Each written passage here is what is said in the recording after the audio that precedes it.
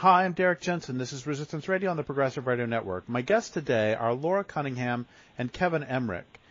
She's an artist naturalist, author, and biologist. He's a biologist and former national park ranger. They co-founded a conservation organization, Basin Range Watch, that works toward preserving the last non-destroyed regions of California and Nevada deserts. So first off, thank you for your work in the world, and second, thank you for being in the program. Well, thank you, and um, it's always an honor to get onto your program here because um, you've written so many good things about the environment. Well, thank you. And before we start, um, Laura, will you give a brief plug for your your excellent book about uh, um, California as it was before uh, before it started getting hammered? Yes, thank you. Um, yeah, I wrote a an ecological history of California wildlife and landscapes called A State of Change Forgotten Landscapes of California in 2010, and it's now out of print.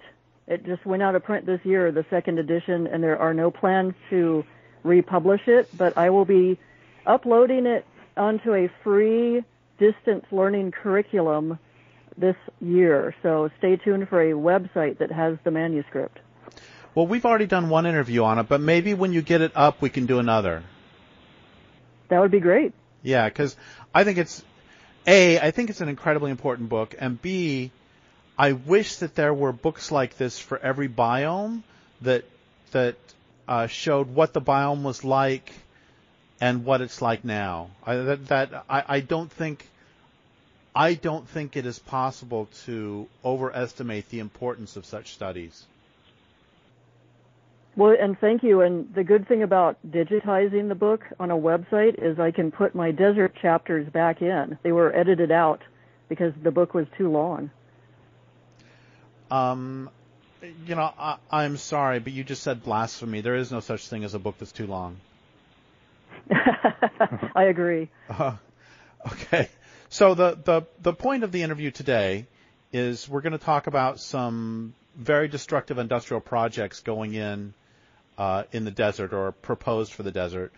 And this comes from an email exchange that Kevin and I had a few months ago where he said, quote, at this point, Gemini Solar is being built on 11 square miles of habitat for desert tortoise. Yellow Pine Solar will be built on 5 square miles. And there's now one proposed called Battleborn Solar, which will be built on 14 square miles of habitat. So first, can you talk about the what how many how many solar facilities are in the regional desert there that you know of? How much habitat has already been destroyed? And then talk about these three projects. Well, that's a good question about how many facilities. Um, the number has really grown exponentially over um, the years, um, and it's starting to get a resurge. Um, I came up with, I got asked this before, and we have about 70,000 acres of tortoise habitat in California that's probably been developed just for solar facilities alone. And, you know, that's just the state of California. Um, here in Nevada, we're getting um, more in the proposal stage for the the solar project, but I would still say that um, about maybe 15 to 20 square miles of that habitat has been developed already, and um, the proposed um, outlook for the future, um, we're probably looking at uh, another 100 square miles or so of Mojave Desert habitat, and much of it would overlap, you know, with the desert tortoise and other species. Um, I will give a brief overview of these three projects. Lori, feel free to jump in um, and just, just to tell you what's going on and what their status is. So the first one that we talked about was Gemini Solar, and this one had a really big political backing to it. We mentioned talked before about um, the state of Nevada um, passed a, a law basically that requires utilities now to obtain 50% of their energy from renewable sources. And that law, incidentally, was passed by a state senator who came right out of the large scale solar industry. On his own time, this man happens to own part of the Gemini solar project, and um, that happened to be one of the first projects that got a contract with one of the major Nevada utilities, NV Energy, that's required to buy all this renewable energy. Gemini Solar will be 7,100 acres. Um, that's 11 square miles. And um, it happens to be in an area in southern Nevada that's um, popular on a recreational basis. It's near Nevada's first state park. It's called Valley of Fire State Park, and it highlights sandstone formations and really beautiful geologic formations. It's near wilderness areas, but it also happens to be a really good habitat. All of this is on publicly owned land, federal land owned by the Bureau of Land Management. Um, the habitat is um, one of the better areas left for the desert tortoise. Um, it's a threatened species, and it's seeing a decline throughout most of its recovery unit. It's protected by the Endangered Species Act. So it's ironic that the Bureau of Land Management was so quick to approve such a large project. The biologists they hired for the project estimate that 1,200 desert tortoises will have to be excavated and moved. However, they'll probably only move about 200 or so because it's very difficult to find juvenile and hatchling desert tortoises. And so many of those will probably be killed in the construction. Um, the area is also habitat for some very rare plants. Um, one plant considered one of Nevada's most endangered plants called the three corner milk vetch will lose 700 acres permanently and that's a lot of acres when you're talking about a small, rare annual plant that only grows in certain areas. Uh, Gemini Solar will impact um, archaeology sites. Um, the old Spanish National Historic Trail is used historically, but it also is predated and was used by Native Americans. It's going to obliterate about three square miles of that. Um, or to three miles of the trail, not square miles. Um, the project itself is probably, we think it's started construction. It got delayed a little bit from the last time that we had that email exchange, but we believe it is starting construction right now. And um, we're not really sure, you know, when it'll be finished, but what they're planning on doing is um, removing all of the tortoises they can find, and then taking about two thirds of this project, or 4,600 acres, and mowing down the vegetation. And they're just going to grind it down to the roots and allow it to grow back. Um, I'll place the solar panels over it and then release the tortoises back under the panels. It's never been tried before. Um, we've identified several problems with it, but they're going to go full speed ahead on this, and we're not very happy about that, obviously. Um, the second one I'll talk about is the Yellow Pine Solar Project. Wait, before this is also. But before, oh, go ahead. before you do that, can you can you say what the problems are with doing that?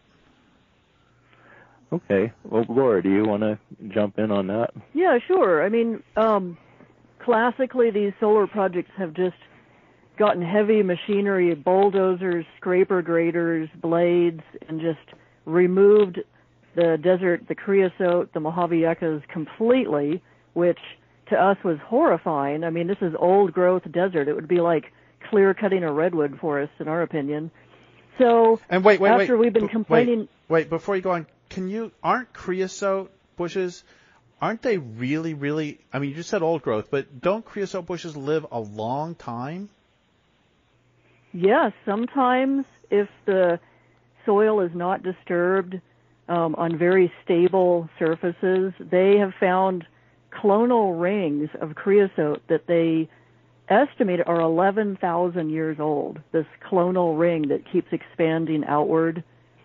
I mean, just amazing to think how old some of these shrubs can be. So, so basically, they. Like, I was just going to say, basically, they would talk about redwoods as just young pups your little kids.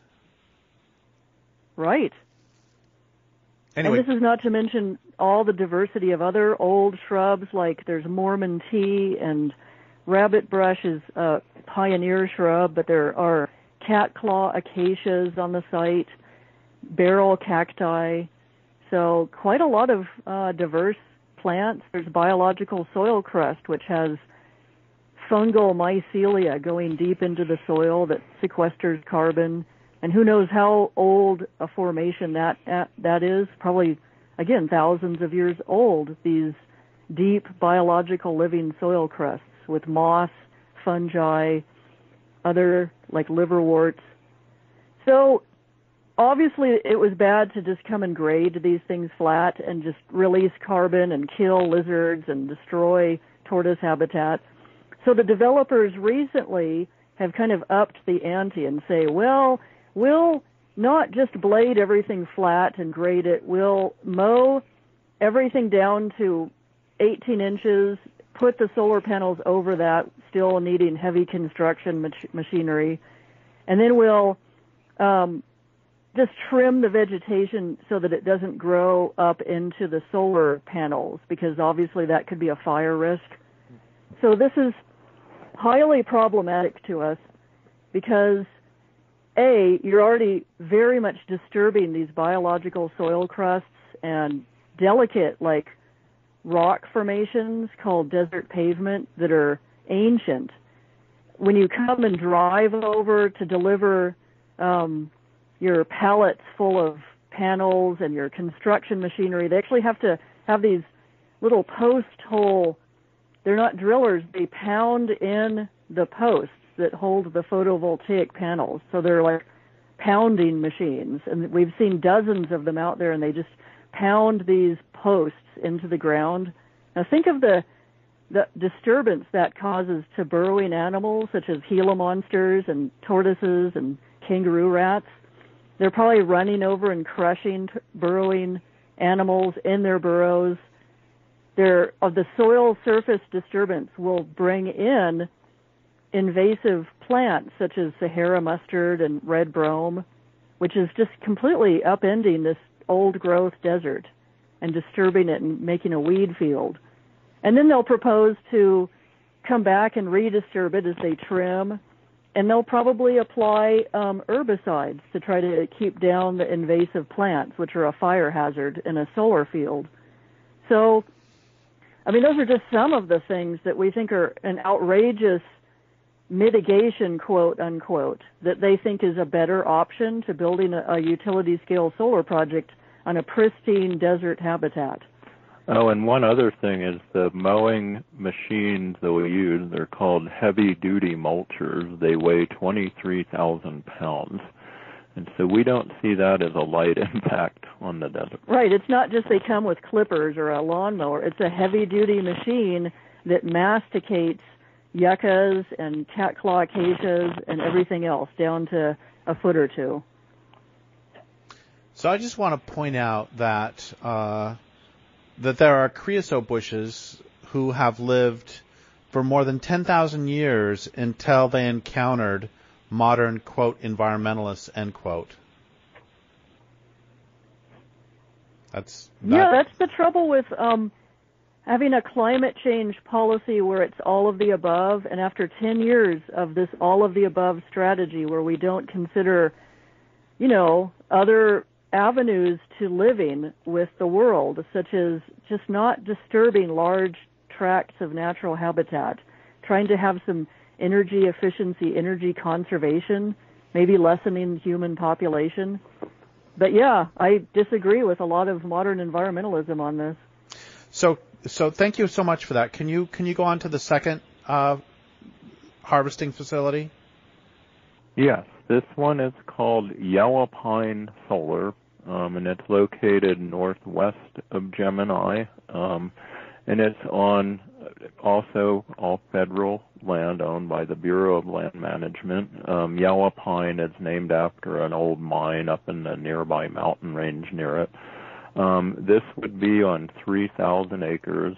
Um, that comes to just under five square miles. That's about four and a half or so square miles. Um, and it would be located on another very significant desert habitat, slightly different than Gemini. It's more dominated by very old um, geologic surface structure, desert pavements. Um, but it also is unique to Gemini in that it has more um, desert vegetation that's larger, like Mojave yuccas. Um, and the Mojave yucca is an interesting plant. It's a tree yucca, um, and it, it's related to the Joshua tree, which is now making a lot of news because there are efforts to list the Joshua tree as endangered in the state of California, and that's over things like climate change and overdevelopment. But a lot of the people don't really um, give this particular plant um, the same attention. Mojave yuccas can live to be five to six hundred years old. And um, the Bureau of Land Management estimated that there are approximately nine, uh, 93,000 of these plants on this site. That's a lot of plants. Um, the configuration of the project will allow some of the desert washes to remain undeveloped. And so we believe that um, 85,000 of those Mojave yuccas will be removed from the site. And they're doing the same thing that they're doing on Gemini solar. And they're going to mow down the vegetation. We asked why don't you transplant the Mojave yuccas? And the, the BLM, that's the Bureau of Land Management, comes back and says that's just too many. It would be too much work and too expensive for the solar company.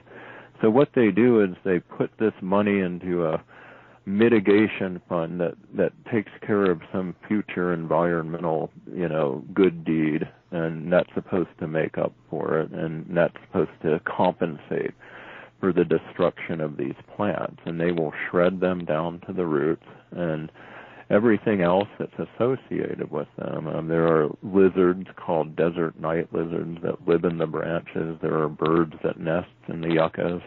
The yellow pine site also has um, a significant desert tortoise population. Um, and it's unfortunate that population was hit by a really big drought in 2014 from 2010 to 2014 and experienced some die off. But even though it's been a really hot summer, we've had a few really good wet winters in the last five years, and those tortoises have started to rebound. And what a terrible thing to do when you've got this threatened species that's on a rebound in an area to just take it away and just remove the habitat and just put solar panels that could easily go somewhere else.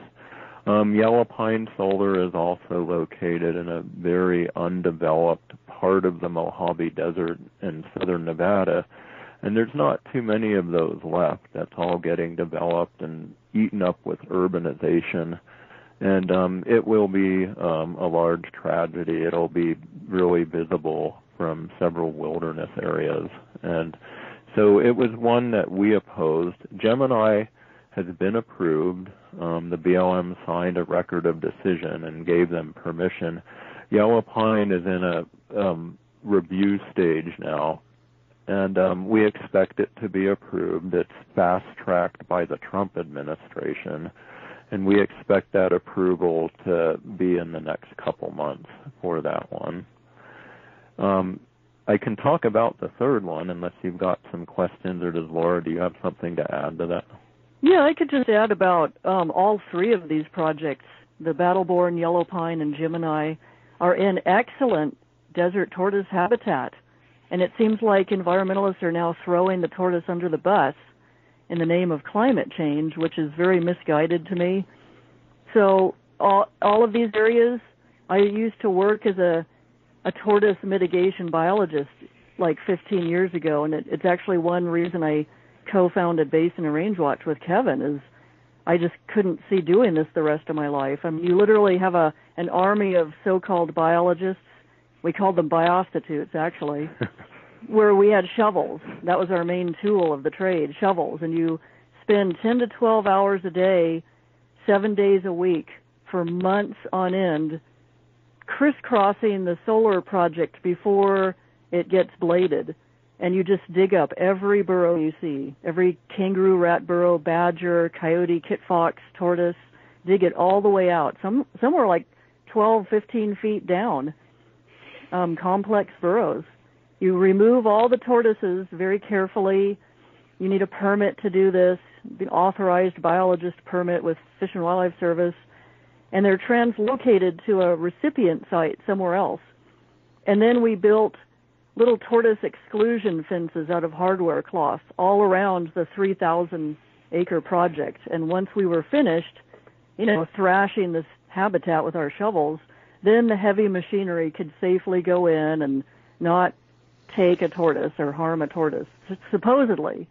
But what we found in a project around 2005 in the Mojave Desert was tortoises like their home ranges. They have their own burrows. They have several burrows that they use for getting away from the summer heat in the middle of the day, hibernating in in the winter. They have little scrapes that they dig to catch rainwater. And they have very good memories. They know where all of these things are. So when you take a tortoise out of its burrow, yanking it out of its home, put it in a cardboard box, drive it 20 miles away, and then dump it. That's what we used to do into a new area. Now it's a little more careful. You know, we make sure they have a burrow, an artificial burrow. But there's competition with other tortoises. And the translocated tortoises remember their home, and many of them actually try to go back. And we had one male tortoise that made a beeline, straight line, in two weeks, traveled 20 miles. Imagine that, a tortoise, 20 miles in two weeks to get back to the area we had dug it out of, and it hit the exclusion fence and just paced back and forth, back and forth. And we knew this because we had glued a little satellite radio transmitter to its shell. So we were able to go rescue the tortoise, but others haven't been so lucky and before the biologists could go find them, they died pacing the fence, overheating, trying to get back to their home burrows. So there's a thank you for those. And there's a, a couple things I was thinking. One is when you were saying that they um, they were going to uh, that they're going to put in money into a mitigation fund for having destroyed, killed all these plants and animals. That's always made me think of I got a deal. So Kevin and Laura, what I'm going to do is I'm going to kill you and take your home and then I'm going to put put some money into a fund that at some point um, I will use to help somebody else. Does that sound like a fine deal to you? Um, yeah, that that sounds about summing it up. That sums it up pretty well. We just discovered something um, this past week that is just like that um, for Gemini Solar Project. We found out that that old Spanish trail, historic trail, you can actually go out there and see wagon ruts still ancient in the dirt. And I'm sure this was an old Native American trade route that the explorers and settlers followed. So it has a deeper history than just the Spanish um, time. Unique, irreplaceable. Well, the solar developer for Gemini is going to give $250,000 to the organization that is sort of the friends group that the Old Spanish Trail Association. They're supposed to take care of this trail, map it, interpret it.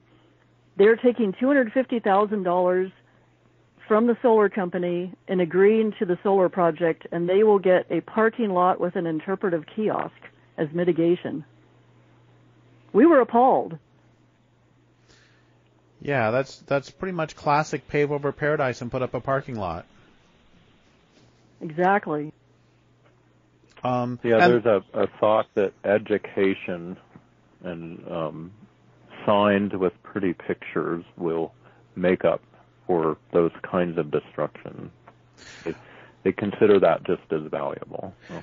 Well, but I had another example I was going to use, but before that, I just want to go back to what you said about wagon ruts. And I grew up in Colorado, and sometimes we would go way up into the alpine tundra, and um, you could see like tire tracks from decades before, and you could see um, you could see the effects of of um, of of wagons from back in the day in the days of the um, Colorado Gold Rush, and the point is that if we can see wagon trails from what four to five hundred years ago, three to four hundred years ago, that's that that talks about how incredibly delicate and slow growing those soil structures are. Yes, that's a good point. When we scrape everything and mow it, drive heavy truck machinery over it, it'll be centuries before we get that pristine, beautiful desert back. Some of those biological soil crusts take they can it, they take almost like a century just to grow just over a centimeter, and so that's you know how slow the recovery is. So the other thing I was going to mention about about moving tortoises or moving the yucca for that matter is um, here's another great idea. Why don't I, um, because I want your house for uh, I don't know a football stadium or or something. Um, why don't I go and kidnap you and take you and drop you in the middle of some other community where somebody else already lives and people already have their homes and I will just drop you off there. Oh, and I'll make you a little itty bitty shelter. I'll make you like a, a, a shed that you can go in um, to get out of the to get out of the cold and heat. Um, does that sound like a fine deal? Are you going to agree to that?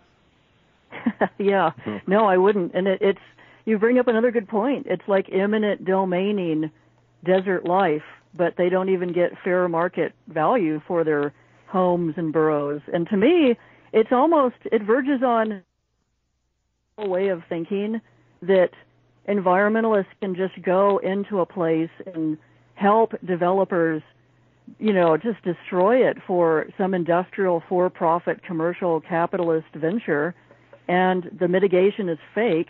The pub- general public doesn't really get to have a say in this. So to me, it's it's no worse than the pioneer settlers coming and taking Indian lands. There's some science to back up what you're saying for the tortoise. There's a recent study, and it showed that um, desert tortoise males that are moved into a, a different range are, are rejected by the females that are in the recipient population, and they don't breed as much and so the viability of of the species goes down right there because you know they're not able to lay eggs. And and so that's kind of backing up that well we're just throwing a animal in somebody else's home and and the recipient animals don't like that. Oh interesting. So could you talk about the third project? Yes, it's called. This is um, in a stage of just planning, but it's a concern because the same company that built Gemini wants to build this one. It's called the Battle Born Solar Project. And that's named after Nevada's state logo. And um, these companies, they just make them bigger and bigger and bigger and um, they're getting the attention of all the utilities because they have this philosophy that um, in order to prevent these solar projects from overloading the grid, we're going to make every new project have a big element of battery storage. So every site, no matter how hot it is out there, is going to have a huge battery bank of lithium ion batteries and um, the idea is the more of these we have, the more energy we can store. And so the builders of these projects just have great plans to not only build this one, but many more. But Battleborn is a record breaker because they're proposing to build this on 9,000 acres or 9,100 acres or 14 square miles of public lands. And this would be located about 20 to 25 miles northeast of the Gemini Solar Project on a fairly unique and well-known um, local area called the Mormon Mesa. Um, it's just this elevated flat mesa, um, and it's between two um, desert rivers, the Muddy River and the Virgin River. Um, and so this project would be all solar panels with, with huge battery banks, but it also happens to be on another area that the U.S. Fish and Wildlife Service has identified as, as essential and important for the desert tortoise in terms of its connectivity or linkage. In other words, like the slow migration of different populations through an area. Um, so they, it's the same company as Gemini, so they intend to mow down the vegetation and try to allow the tortoises to be re-released into this area. Um, and what worries us about this is that the company is in really close association with the Nevada governor, and the Nevada governor um, sent in an official letter to the Trump administration to fast track this project.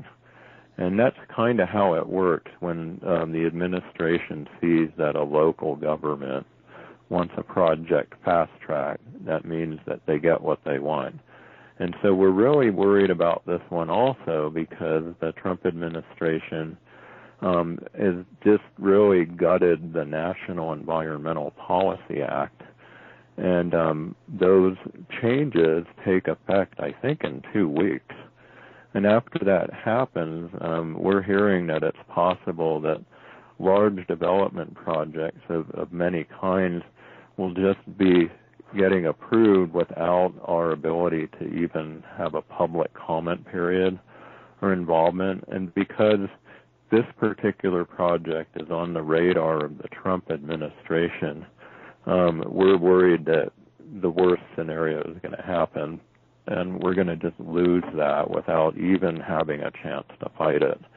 And so um, there's a whole other, you know, list of solar projects just in the state of Nevada that are being proposed. In that particular area, there's several of them that are now either approved or have been built on the Moapa Indian Reservation, approximately 20,000 acres worth.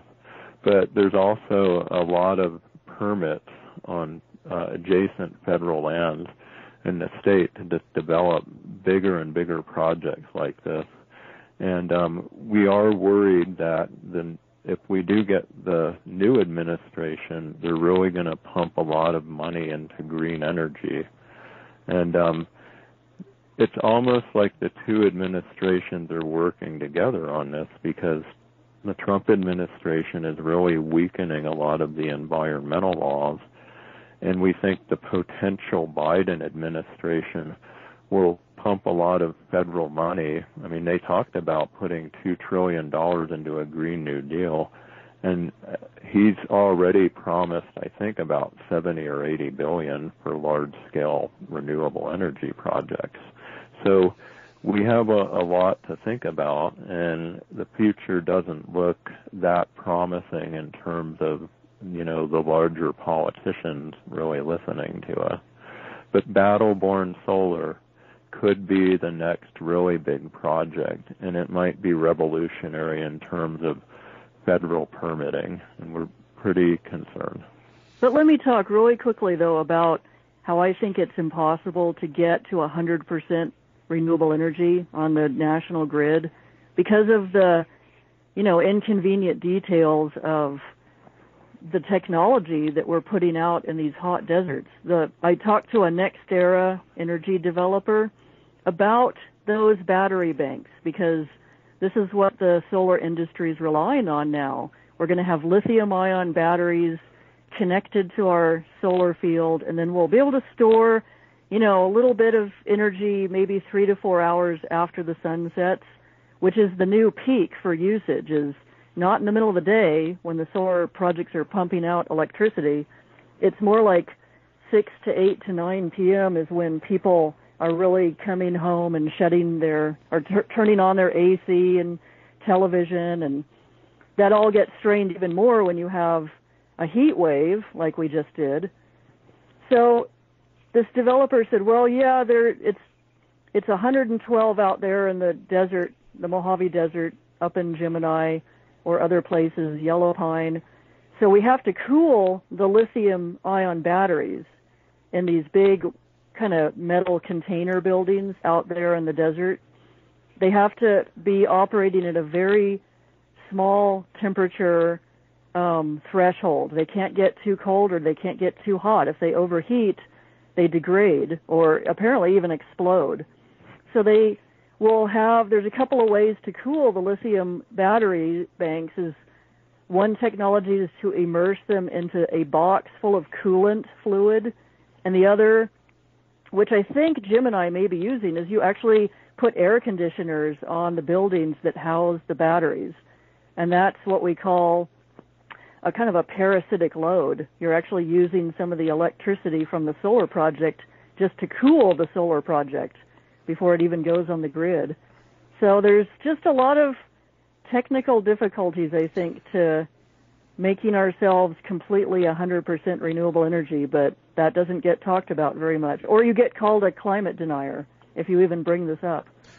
Well, it's it's. I'm sorry that you even have to mention that because the notion of 100% renewable energy. This is why you know I've got a book coming out next March called Bright Green Lies that just shows how incredibly um, fantastical all this is. It's, it's nothing but a fantasy.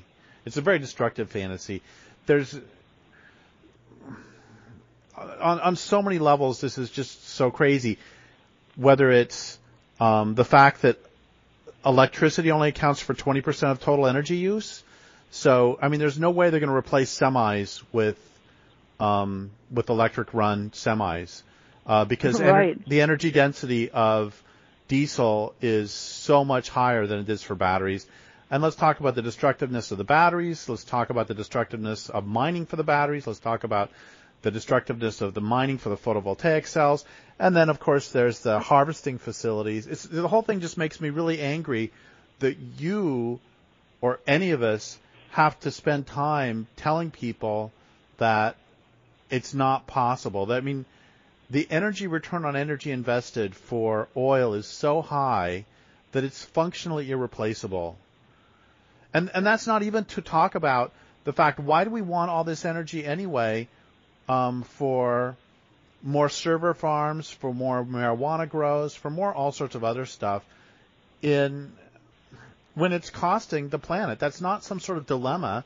That's just more more colonialism, more um, destroying the planet to continue the economy. Sorry that my voice is getting thin and reedy. That just makes me really mad. No, I agree. Fully agree on that. So I'm when gonna... the lithium mining too, the is I know you were talking recently about the Rhyolite Ridge mine, but there's a lot of demand for that and the amount of destruction and water it takes to do that just to back up the so-called green industry is, is hypocritical to say the least. So, so I want to I want to back up a second and just point out two things, um, or one thing that's two things, which is that you we we you talked about Trump gutting NEPA, and I mean I can't stand Trump either, and Trump is very easy to to despise, and but I also think it's really important to point out that what you said about, I mean, it's good cop, bad cop, because he's doing the heavy lifting for that. And if there's a Biden, well, what I want to say is that Chris Brooks, whom you mentioned earlier, uh, is a Democrat, and the governor of Nevada is a Democrat. So neither neither party is a friend of tortoises or creosote bushes. That's all I wanted to say.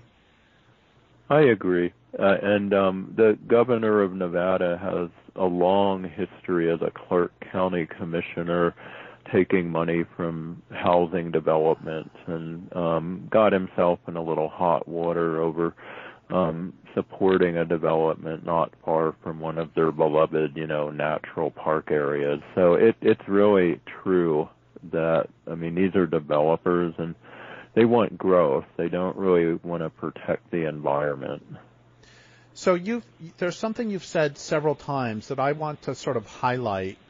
Um, you said that these are on public lands, and can you talk about the fact that those are public lands? And here's a question I have no idea the answer to. Um, I know that when they do timber sales on federal lands or on public lands, those lose money. They're giveaways. When they put ski resorts on public lands, those are giveaways. When they put mines on public lands, they're giveaways. Uh, when they do grazing on public lands, it's it's below market value.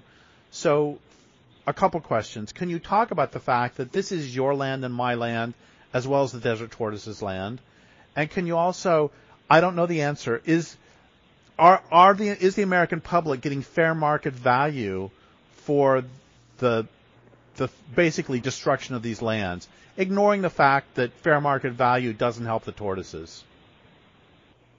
Well, I'll cover the public lands part, or what are public lands. I mean, they're basically our federal lands, and BLM, the Bureau of Land Management, acquired quite a number of acres, millions and millions of acres, and just you know when this became a country, and it was really land that nobody wanted. But over the years, I mean, the West got developed, and public lands became more cherished than ever. I think in Nevada, um, there's kind of a attitude that public lands are just too much of it. In fact, it's it's declared 87% federally owned. And so there's an attitude by a lot of government officials that it really needs to be mined and developed and grazed. And now solar energy is really the latest, um, I think, scam to take lands away. But over the years, I mean, as the southwest cities boomed in population and got bigger, public lands became more cherished.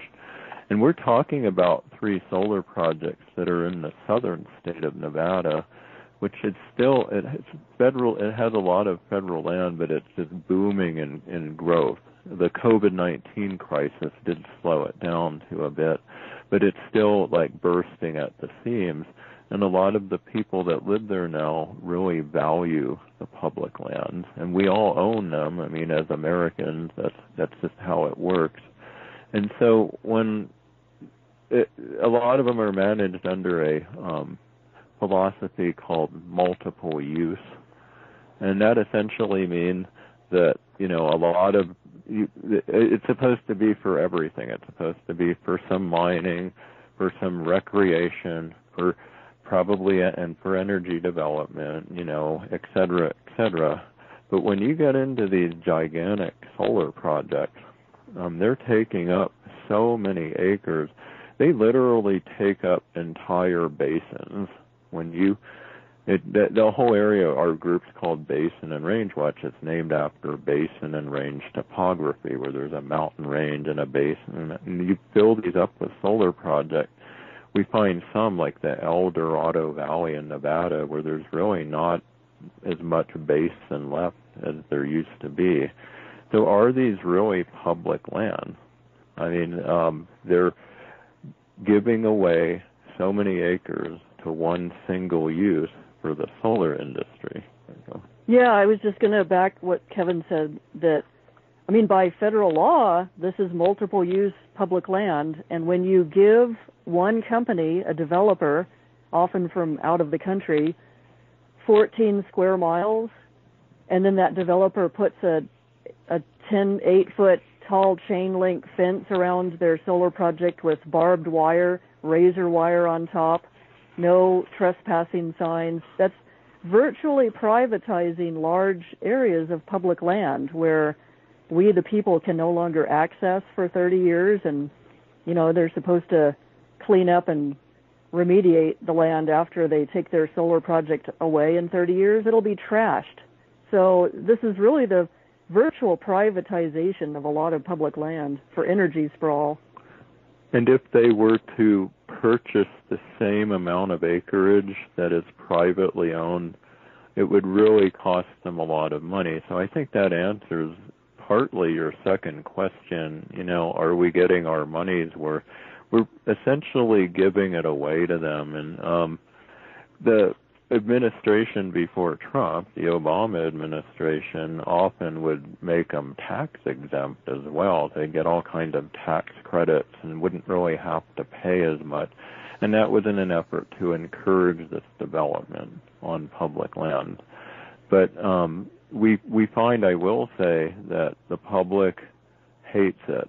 Um, there's a real divide between what you read from some of the larger mainstream environmental groups that some would support solar on public lands, and then the comments and this, the the citizens. The citizens hate it, and the other people are kind of making deals with it. But in my opinion, it's um, a real freebie to the solar industry to be able to develop on those public lands. They're often hit with mitigation costs. They do have to pay lease fees to the Bureau of Land Management every year, so um, they do have to pay something. But it's it's just a drop in the bucket to what they would have to pay in taxes, or just for for acreage of private land. So it's a big scam and giveaway in my view. So I, I I'm focusing on two words that you said, 30 years, and I don't know if there's a word to describe both profound rage and sorrow because even if we ignore the desert tortoises and everything else, they are killing 10,000 and 11,000 year old creosote bushes for a project that's going to last 30 years. Uh, yeah. Words. Right. Uh, I mean, it's a cliche, but I mean that. I'm I'm speechless at that. Yeah, the right of way permit that they get on public lands is usually 30 years, and then the developer, I suppose they could renew that, but they're supposed to take everything down and remediate the land, which is a joke to us. Well, there are old um, wind projects on some public lands where they just haven't done that because the company goes bankrupt or sells the project, or, or the utility cancels the purchase agreement or or possibly there's a natural disaster that damaged their their turbines. But there are areas where there's still like old remnants of things that haven't really been taken down yet. Well, that's no different than in the old days. That's how they got some of the BLM lands. Was that um, a timber company would cut over the lands and then they would just stop paying taxes because they didn't it wasn't useful to them anymore. I mean, this is just the same story. Okay, so so it I seems that way. Um, so we only have a couple minutes left, and um, I, I, guess I want to ask two things. One of them is um, how can people? Three things. One is how can people? What can people do to try to stop these juggernauts? Two, how can people support your work in specific? And three, what was the wonderful thing about both of you that caused both of you to get off your butts and actually do this so that somebody who is in some other place facing some other problem can get off their butts and do something instead of just going, oh, this is terrible? We could answer that one first. I mean, we um, saw a, about 10 to 11 years ago plans to cover our region that, where we live right now with solar projects and nobody else was really interested in helping us. And so we just said, well, if anything's going to happen, we have to do it ourselves, and we can at least educate people on that. And it turned out to work out for a lot of other people who were in the same boat. And so we we feel for those other folks who live in those areas or love those areas. And we definitely, you know, don't want to see the biological diversity and cultural history just given away for these short-term boondoggle. Um, oh.